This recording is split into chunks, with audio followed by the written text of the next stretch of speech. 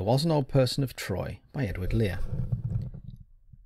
There was an old person of Troy, whose drink was warm brandy and soy, which he took with a spoon by the light of the moon, in the sight of the city of Troy.